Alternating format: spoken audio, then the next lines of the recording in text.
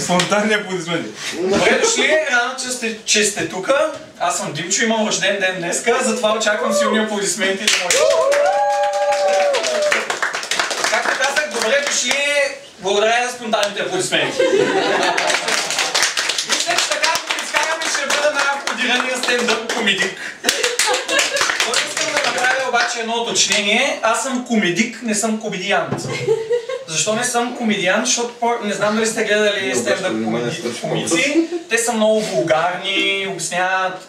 Е, вулгарни са. Аз като си купих чопър бях по-ки романтик.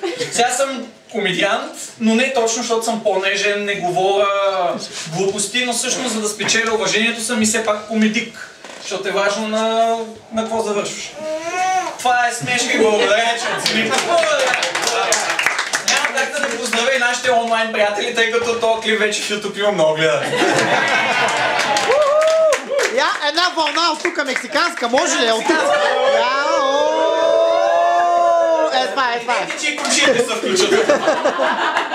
Благодаря, че ми се смеете, все пак е рождения ми ден. Е, има импровизация. Предния път ходих на уроци по стендъп комедия и този път реших отново да бъда на ниво и отидох. Пак ли 50 лева? Ами странно беше, че човека, явно тия реали- реалитета по телевизията много влияят на хората, защото той гледаше, ръкомахаше. Първо си мислех, че има някакви съображения с космоса, след това разбрах, че търси скрита камера. Когато разбрах, че всъщност това не е скрита камера, ме изгони. И така всичко свърши, аз му казах по български, байре, бе, ти ще мълчиш как да смея хората. Добре, че той има напсува на комедиански, в смисъл, че каза ми представление да имаш все приятели и роднини да гледат. Смешка да кажеш, никой да ни я чуе. Да излезеш от сцената, да се спъниш, много е смешно, никой да не те види. И защо кълнама половин час, но аз съм широко скорен човек. Както ви казах, аз съм комедик и въпреки че всички се смеем, който му се смее, аз гледам да вкарам и една така екзистенциална нотка. Защото не е само да се смееш, трябва да знаеш защо се смееш. Благодаря ви за тишината. И си разказвам смешки. Да ви кажа, че днес имам рожден ден и много се зарадвах, защото като бях на стендъп комедията, се запознах с едни момчета и те бяха ученици. Всъщност няма по-неловко мълчание от хора, които са комедианти и за първи път се срещат. Единия каже нещо, друг се разсмее, ма то не му се смее. Абе, мъка, по е да сваляш момиче и да кажеш, че е весела.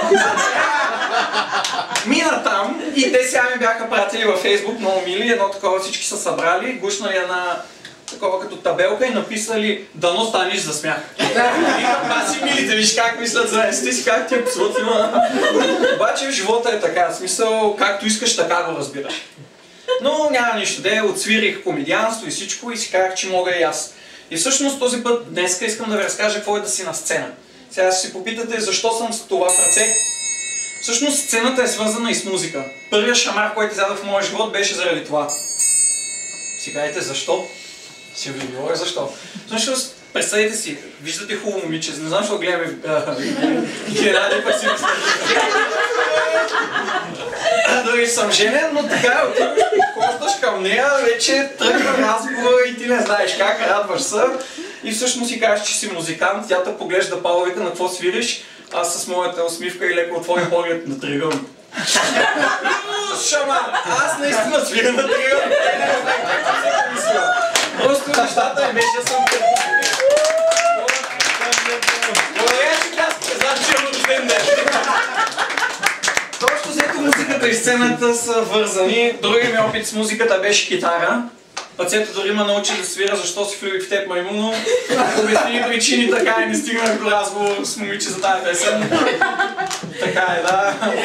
И така, та музиката е хубаво нещо, но според вас какво върви на сцената заедно с музиката? Точно така, танци. Дълъг път извървях, ходих на танци. Не знам дали сте чували за бачата, нека си остане инструмента да няма объркани момичета. Та, всъщност на, на танците, като ходих, много време тренирах бачата. Това е един такъв танц. Всъщност той се е играл с момичето бушното така и с тяло да я водиш. Е, представете си първият път, когато навих момиче да танцуваме бачата и тя дълго се опъваше, накрая се съгласи. Някакси очакваше да я хвана по друг начин, аз почнах. Той, той, е, да ви кажа, този живот, ако ми ядеш шамай, няма успееш. И така всъщност свършиха, свършиха танците ми. Сега в момента има още една смешка, ама забравя да му се.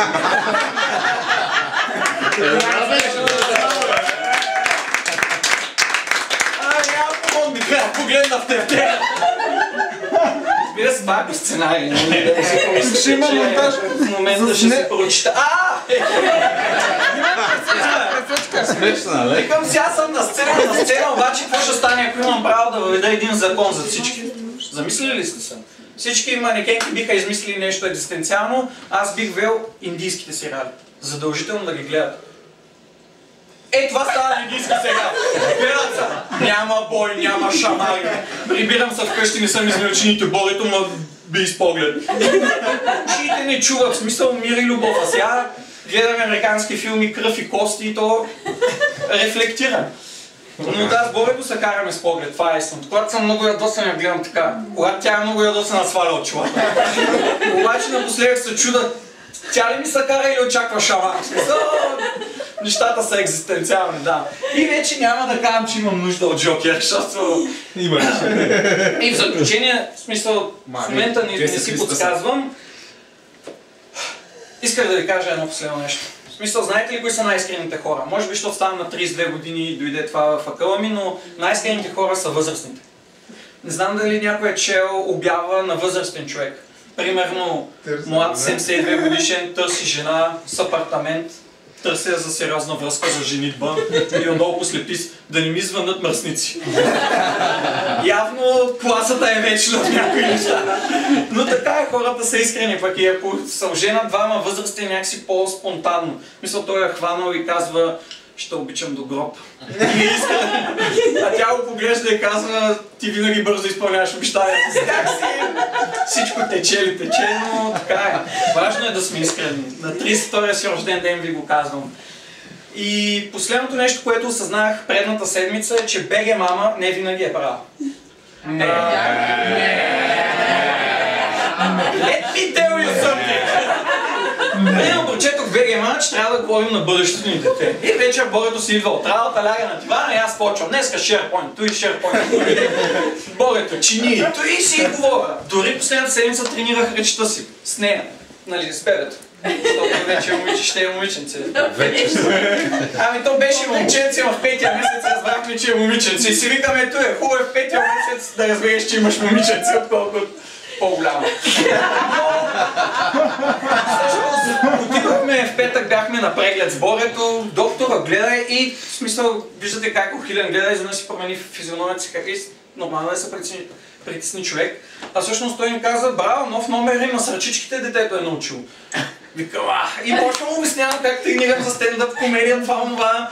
А, смисъл, Проблема ми е, че все приятели и роднини ме гледат, нали? И той замълча, някак си смени темата. И така и не разбрах дали номера на детето, какво. Мисля, какъв е бил този номер в сърце. Дали е било браво? Дали е било Така че в този живот, пак повтарям, всичко е както искаш, така го разбираш. И няма да се очудвате, че заглавието на втората ми стендъп комедийна среща ще е както искаш, така го разбирай. Знам, че ви ще дойдете, ако не дойдете, смисъл ще пропустите рождения ми ден. И в заключение искам ви кажа, ви сте уникална публика. Най-добрата, която съм имал. Аз съм имал много. Благодаря. Ако искате да го повторя, пак ще разкате много. Еми това. Айде, чао.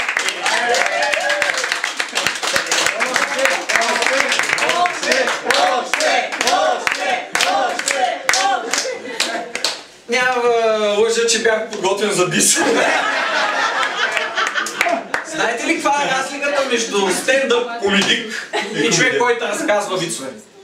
А, Еми, можеш ли да сравняваш руса, стриптизьорка, раздаваща се на пилон с гола скина на плаша? Е, не. Така че разликата между стендъп, комедик и просто човек с вицове е огромна. Всички мъже ме разбрахте, не? И няма ще имам за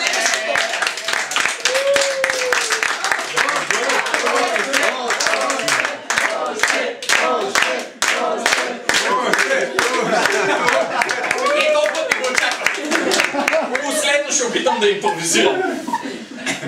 Как беше? Абе, шегата трябва да е като къста кола. Не знам дали знаете. Трябва да е достатъчно къса, за да спечели интерес. Е, вас тук не ми се получи. Не, не лъжа. Смисъл, идеята е, че трябва да е достатъчно дълга като време, за да покрие каквото трябва и също време достатъчно къса, за да дойде пак на ме. Е, това е Благодаря. Това си наложка, Thank you.